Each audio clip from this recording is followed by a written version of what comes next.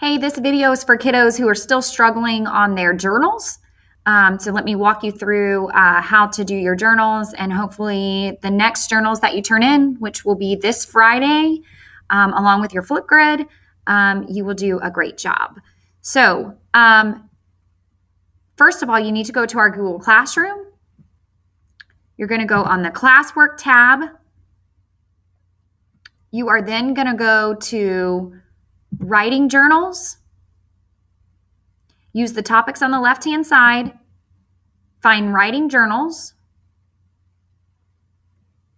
And then you will open up the writing journals assignment. On yours, it may say view assignment on the bottom of the writing journals. And you're going to want to open up the Q1 writing journals.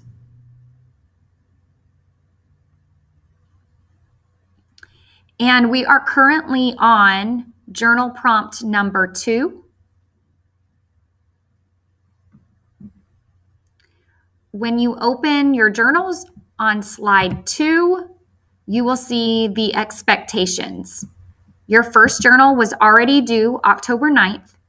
If you are behind on that journal, you are still able to submit the journal.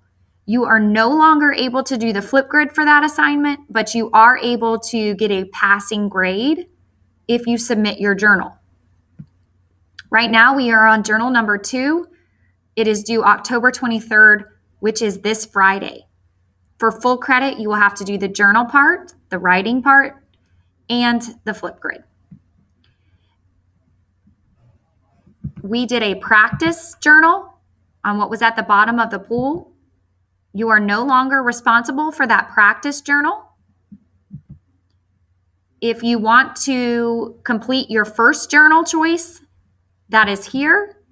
In order to do a text box, you will click the square with the T in it, and then you will drag it underneath prompt number one.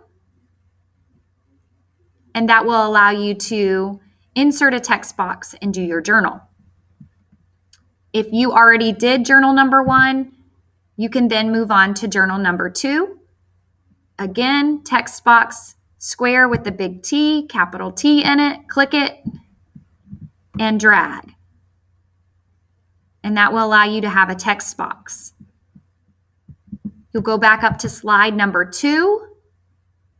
And here's where you will find all of your journals. Click this link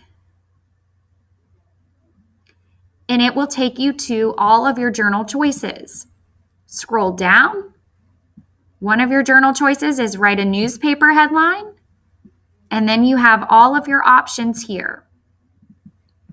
The only one you cannot do is find treasure at the pool.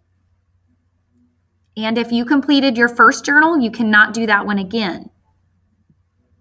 Scroll down, find one that interests you, click, on the blue link and it will provide a video for you.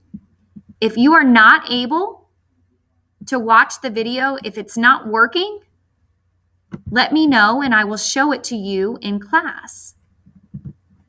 And then you write your journal on slide that says prompt number one, if you're missing that, or prompt number two.